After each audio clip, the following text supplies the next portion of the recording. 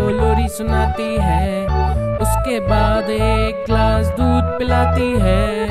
मेरी मम्मी रोज मुझको लोरी सुनाती है।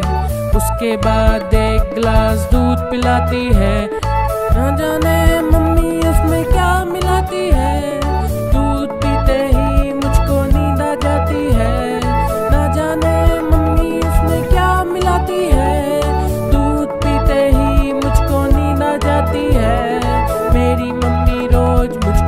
सुनाती है उसके बाद एक गिलास दूध पिलाती है।